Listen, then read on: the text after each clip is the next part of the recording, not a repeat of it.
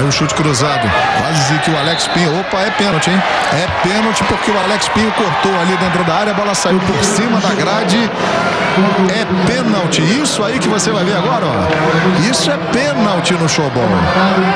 Quando o jogador está no campo de defesa e manda a bola intencionalmente por cima da grade, quando ele corta, é pênalti. E quem vai bater? Romário de Souza Faria. Olha lá, ó, de longe a bola na marca. Romário chegando, o goleiro azul ali no gol. Lá vai o baixinho, lá vai o Romário, é gol. Gol do América, Romário. Ih, rapaz, olha o Romário indo para a torcida do Vasco. É, indo para a torcida do Vasco, pedindo para a torcida do Vasco ficar quietinha, pedindo para a torcida do América vibrar.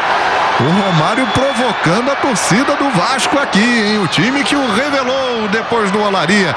Romário, como ele fez isso várias vezes na carreira, né? Mandando a torcida adversária calar a boca. América 3, Vasco 2. Fluminense se classificam para essa chave B. América em primeiro, Fluminense em segundo.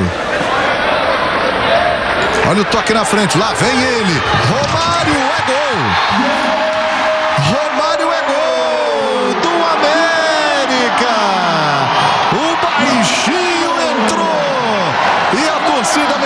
Fica muito feliz. Romário, toque do Robert. Romário de pé direito no alto, indefensável. 4 América, 2 Vasco.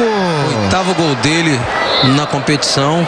E deixar o baixinho solto é pedir para levar gol, não tem jeito. É o artilheiro do Carioca de Showball, é verdade, oito gols.